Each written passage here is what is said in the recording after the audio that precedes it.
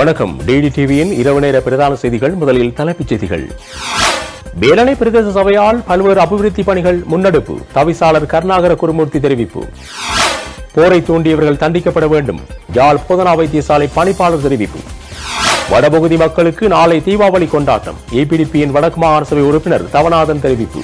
தொடர்வன விரிவான செய்திகள். தீபகம் தெற்கு வேலனை பிரதேச சபைக்கு நாடாளுமன்ற உறுப்பினரும் ஈழ மக்கள் ஜனநாயக கட்சியின் செயலாளர் டக்ளஸ் தேவானந்தாவின் முயற்சியால் பல அபிவிருத்தி திட்டங்களுக்கு நிதி ஒதுக்கப்பட்டுள்ளதாக வேலனை பிரதேச சபையின் தவிசாளர் கருணாகர குருமூர்த்தி தெரிவித்தார். வேலனை சிப்பனை முருகன் வீதிக்கு ஒரு கோடி ரூபாவும் நயனாதீவு மலையின் நாயனார் வீதிக்கு எண்பது லட்சம் ரூபாவும் தடுப்பணைக்கு இருபது லட்சம் ரூபாவும் நயனாதீவு ஆலங்குள வீதிக்கு பத்து லட்சம் ரூபாவும் நயனாதீவு அனலதீவு மக்களுக்கு குடிநீர் வழங்க கடல் நீரை நன்னீராக்கும் திட்டத்திற்கு பதினைந்து கோடி ரூபாவும் ஒதுக்கப்பட்டுள்ளது.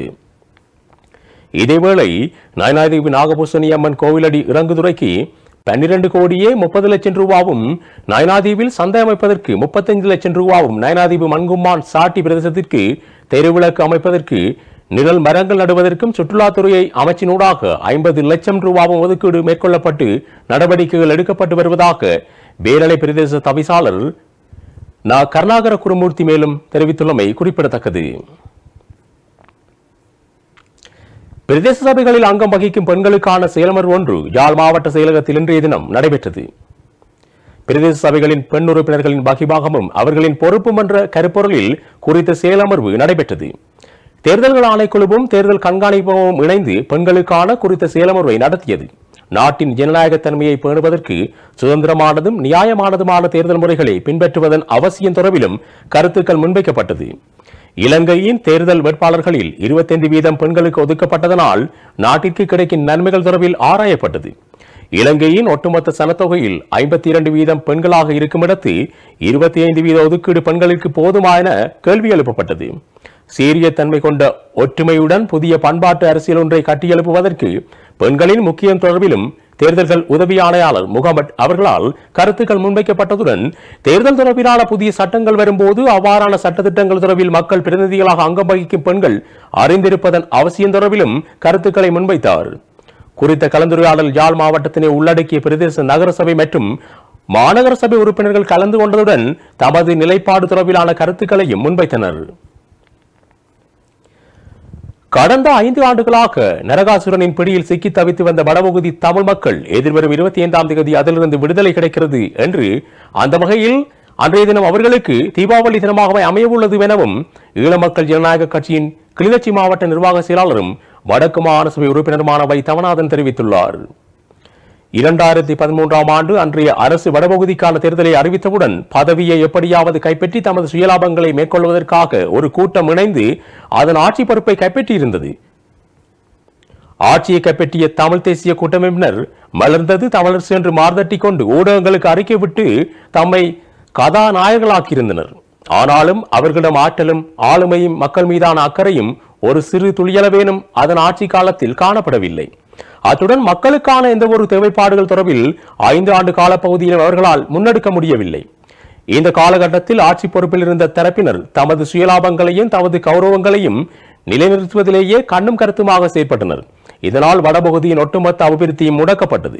நாட்டில் ஆட்சி மாற்றம் ஏற்படும் வரையில் அதாவது இரண்டாயிரத்தி பதினைந்தாம் ஆண்டு வரையில் வடக்கில் நமது ஈழ மக்கள் ஜனநாயக கட்சியின் செயலாளர் டக்ளஸ் தேவானந்தா தனக்கிருந்த அமைச்சரவை அதிகாரத்தை கொண்டு பல பணிகளை மேற்கொண்டு வந்திருந்தமையால் வடக்கு மாகாண சபையின் ஆட்சியாளர்களது ஆளுமைத்தன்மை மக்களிடம் வெளிப்படுவது குறைவாக இருந்தது. ஆனாலும் நாம் வடக்கின் எதிர்க்கட்சி வரிசையில் இருந்து அதனை சபை அமர்வுகளில் ஆரம்பம் தொட்டை வெளிப்படுத்தி வந்திருந்தோம். இந்நிலையில் கடந்த இரண்டு ஆண்டுகளாக வடக்கின் அமைச்சரவைக்குள் மோசடிகள் மலிந்து காணப்பட்டது. தத்தமது கௌரவங்களுக்காக முதலமைச்சர் அமைச்சர்கள் நீதிமன்றம் வரை ஏறி இறங்கினர். ஆனாலும் ஒரு தடவை கூட மக்களுக்கான தேவை ஒன்றுக்காகவேனும் அவர்கள் நீதிமன்றம் ஏறவில்லை. இதனால் முழுமையாக மக்கள் தேவைகள் முடக்கப்பட்டன. ஒரு மாகாண சபை முழுமை பெற்று மக்கள் மக்களுக்கானதாக இயங்க வேண்டுமானால் குறைந்தது முன்னூறு நியதி சட்டங்களாகவது உருவாக்கப்பட்டிருக்க வேண்டும். ஆனால் இந்த வடக்கு மாகாண சபையின் தனிநபர்களது கௌரவ பிரச்சனைகள் காரணமாக அது நடைபெறாது போனதால் பல வேலைத்திட்டங்கள் முடக்கப்பட்டன. அதனால் மக்கள் அபிவிருத்தியை இழக்க நேரிட்டது. இன்று அதை மக்கள் முழுமையாக உணர்ந்து விட்டனர் இவ்வாறான ஆளுமையற்றவர்களது ஆளுகைக்குள் கடந்த ஐந்து வருடங்களாக அகப்பட்டு தத்தளித்து வந்த தமிழ் மக்களுக்கு வரும் இருபத்தி ஐந்தாம் தேதி விடுதலை கிடைக்க உள்ளது.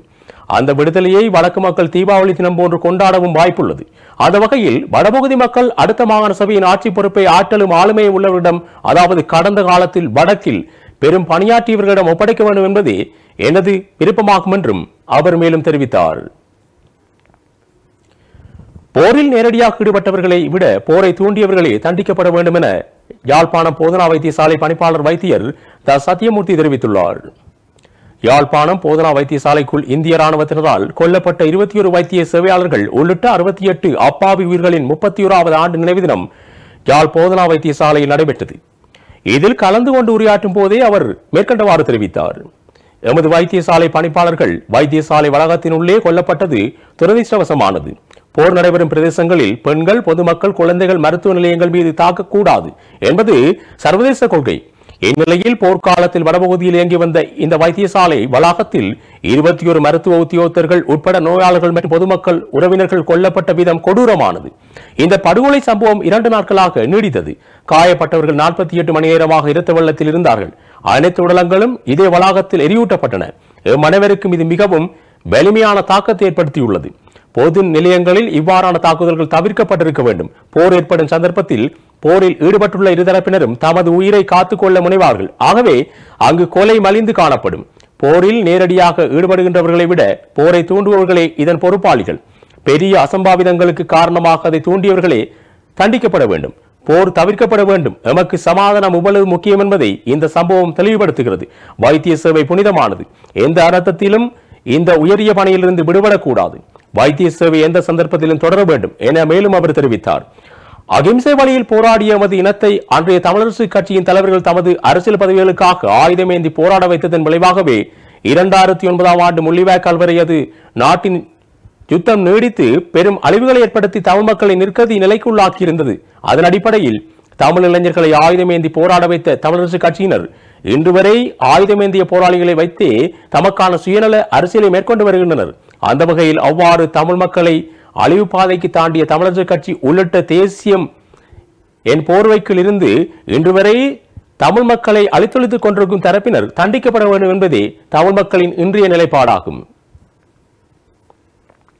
வடக்கு மாகாண கல்வி அமைச்சு இயங்கும் நிலம் தமக்குறித்தானது என்றும் அதனை மீள ஒப்படைக்குமாறும் இலங்கை திருச்சபையினர் கல்வி அமைச்சிடம் கோரிக்கை முன்வைத்துள்ளனர் யாழ்ப்பாணம் செம்மணி வீதியில் அமைந்துள்ள வடக்கு மாகாண கல்வி அமைச்சின் செயலாளர் அலுவலகம் மற்றும் பாடசாலை உள்ளிட்ட வளாகம் இலங்கை திருச்சபைக்கு சொந்தமானது. குறித்த வளாகம் பாடசாலை தேவைக்காக ஆயிரத்தி தொள்ளாயிரத்தி அறுபதாம் ஆண்டு கையளிக்கப்பட்டது. ஆனாலும் வடக்கு மாகாண கல்வி அமைச்சு தன்னிச்சையாக தனது அனைத்து அலுவலகங்களையும் அங்கு உட்புகுத்தியதால் தற்போது பாடசாலையின் பெயர் அளிக்கப்படும் நிலைமைக்கு இட்டுச் சென்றுள்ளது. எனவே பாடசாலை தேவைக்காக வழங்கிய திருச்சபைக்குரிய காணியை மீளவும் ஒப்படைக்க வேண்டும் என்று சபையின் ஆயர் லியோராஜ் கனகசபை கல்வி அமைச்சரிடம் கோரியுள்ளார். கோரிக்கையை பரிசீலித்து ஆராய்ந்து தனக்கு அறிக்கை சமர்ப்பிக்குமாறு கல்வி அமைச்சர் தனக்கு செயலாளருக்கு பணித்துள்ளார் என்றும் குறித்த சபையின் யாழ்ப்பாண அங்கத்தவர்கள் தெரிவிக்கின்றனர்.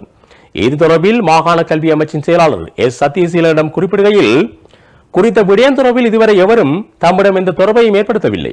என்று கல்வி அமைச்சிடம் இருந்தும் எந்த தகவலும் தமக்கு கிடைக்கப்பெறவில்லை என்றும் அவர் தெரிவித்தார். இந்நிலையில் வடக்கில் மக்களது ஆக்கபூர்வமான தேவைகளுக்காக பலதரப்பட்டவர்களால் முன்னெடுக்கப்பட்ட பல்வேறு நலத்திட்டங்களை வடக்கு மாகாண சபை தனது ஆளுமையற்ற தனத்தால் இலக்கை செய்துள்ளதுடன் வடக்கு மாகாண சபையினூடாக வடக்கு மக்களின் எதிர்காலத்தையும் பூச்சியமாக்கியுள்ளதாக கல்வி புலம் சார்ந்தோர் சுட்டிக்காட்டியுள்ளமை குறிப்பிடத்தக்கது. புதிய எல்லை நிர்ணயத்தின் பிரகாரம் இணுவில் கிழக்கு பகுதியின் ஒரு பகுதி நல்லூர் பகுதியுடன் சேர்க்கப்படுவதை எதிர்த்து குறித்த பிரதேச மக்கள் எதிர்ப்பு போராட்டம் ஒன்றை மேற்கொண்டுள்ளனர். குறித்த போராட்டம் இன்றைய தினம் நடைபெற்றது. இணுவில் கந்தசுவாமி ஆலயத்தில் இருந்து ஆரம்பிக்கப்பட்ட குறித்த போராட்டம் மௌன ஊர்வலமாக சென்று உடுவில் பிரதேச செயலரிடம் மகையரொன்றும் கையளிக்கப்பட்டுள்ளது. நூற்றுக்கணக்கான மக்கள் திரண்டு முன்னெடுத்த குறித்த போராட்டத்தில் ஈழமக்கள் ஜனநாயக கட்சியின் வலிதற்கு பிரதேச நிர்வாக செயலாளரும் குறித்த பிரதேச சபையின் உறுப்பினருமான வெலன்ட்ரியன் மற்றும் கட்சியின் செயற்பாட்டாளர் மெனோ உள்ளிட்ட பிரமுகர்களும் கலந்து கொண்டு போராட்டத்திற்கு வலி சேர்த்திருந்தமை குறிப்பிடத்தக்கது. கல்வித்துறை ஒரு வியாபாரமாக உருவெடுத்துள்ளதாக கல்வி அமைச்சர் அகிலவிராஜ் காரியவசம் தெரிவித்துள்ளார். புலமை பரிசில் பரீட்சைக்கான விடய பரப்பில் மாற்றங்களை செய்ய பரீட்சைகள் ஆணையாளருக்கு ஆலோசனை வழங்கப்பட்டுள்ளது. பிரத்யேக வகுப்புகளுக்கு பொருந்துகின்ற வகையில் அல்லாமல் சாதாரண சிந்தனை ஆற்றலுக்கு பொருத்தமான வகையில் திருத்தங்களை மேற்கொள்ள ஆலோசிக்கப்பட்டுள்ளது. புலமை பரிசில் பரீட்சைக்காக மாணவர்கள் நிர்பந்திக்கப்படுகின்றனர். விரைவில் இந்த முறைமை ஒழிக்கப்படும். புலமை பரிசில் பரீட்சைக்கும் புலமை பரிசில் கொடுப்பனவுகளுக்கும் முன்பிருந்த உள்நுழைவு பரீட்சை போன்ற ஒரு முறைமை கொண்டு வந்து போட்டியை இல்லாதொழிக்க நடவடிக்கை எடுக்கப்படும். இதற்காக விசேட குழு ஒன்று நியமிக்கப்பட்டுள்ளது. அத்துடன் சாதாரண தரம் உயர்தரம் மற்றும் புலமை பரிசில் பரீட்சைக்கான பாடப்பரப்புகள் மேலும் பிரத்யேக வகுப்புகளுக்கு வடிவமைக்க வேண்டாமென பரிசுகள் ஆணையாளருக்கு ஆலோசனை வழங்கப்பட்டுள்ளது. மேலும் யாருக்கும் சோரம் போகாத வகையில் இந்த விடயங்கள் முன்னெடுக்கப்பட வேண்டும் என பணிக்கப்பட்டுள்ளது. இலங்கையின் கல்வி முறையில் தலை தூக்கியுள்ள மாவியாக்களை முடிந்தளவு விரைவில் ஒழிப்பதற்கு நடவடிக்கை எடுக்கப்படும் என கல்வி அமைச்சர் குறிப்பிட்டுள்ளார். மீட்டர் கருவி பொருத்தப்படாத முச்சக்கர வண்டி சாரதிகளை நீதிமன்றத்தில் ஒப்படைக்கும் உரிமையை போலீசாருக்கு வழங்குவதற்கு நடவடிக்கை மேற்கொள்ள உள்ளதாக வீதி அபிவிருத்திக்கான தேசிய சபை தெரிவித்துள்ளது. முச்சக்கர வண்டிகளில் பொருத்தப்பட்டுள்ள மீட்டர் கருவிகளின் தரம் தொடர்பிலான அறிக்கை ஒன்று இரண்டு வாரங்களுக்கு அமைச்சருக்கு வழங்க உள்ளதாக வீதி அபிவிருத்திக்கான தேசிய சபையின் தலைவர் சிசிர கோதாகோட தெரிவித்துள்ளார். குறித்த அறிக்கையை ஆராய்ந்ததன் பின்னர் அது தொடர்பில் சட்ட நடவடிக்கை எடுக்கப்பட உள்ளதுடன் விடயத்துடன் தொடர்புடைய அமைச்சரின் பரிந்துரைக்கமைய உரிய சட்ட நடவடிக்கை எடுப்பதற்கு போலீசாருக்கு அதிகாரத்தை வழங்க உள்ளதாக சிசிர கோதாகோட தெரிவித்தார். சிறிய இடைவெளியை தொடர்ந்து வெளிநாட்டு செய்திகள் தொடரும்.